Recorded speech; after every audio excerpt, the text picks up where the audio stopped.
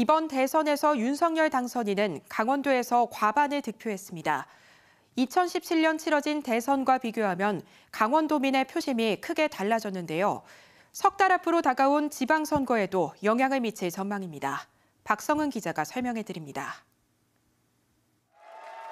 이번 대선에서 강원도의 선택은 윤석열 당선인이었습니다. 불과 5년 전 대선과 비교하면 판이한 결과입니다.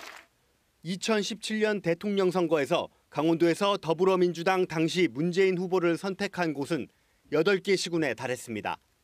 보수세가 강했던 강원도에서 선전했다는 해석이 나옵니다.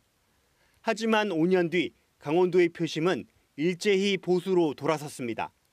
특히 기존에 민주당의 지지 기반으로 여겨진 춘천과 원주의 표심 전환이 인상적입니다.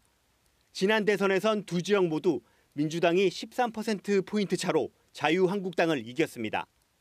하지만 이번엔 국민의힘이 두 지역에서 각각 5%에서 6% 정도씩 앞서 과반을 차지했습니다. 정치권에서는 서울과 지리적으로 가깝고 인적 교류도 활발한 춘천과 원주는 서울의 표심과 거의 같은 양상을 보이는데 이번에도 이런 경향이 반영된 것이라는 해석이 나옵니다. 결국 부동산 문제 등으로 인한 현 정부의 부정적 인식이 대선에 그대로 대입됐다는 겁니다.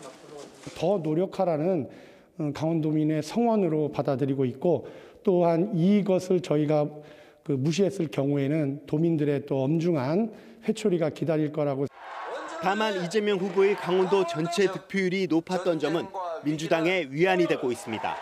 41.72%라는 우리 강원도민들의 지지와 성원에 힘입어서 어, 역대 최고의 득표를 올렸다. 이것은 저희의 큰 성과라고 보고 있습니다. 이제 관심은 석 달 앞으로 다가온 지방선거입니다. 국민의힘은 이 기세를 몰아 압승을, 민주당은 역전을 다짐하고 있습니다. KBS 뉴스 박성원입니다.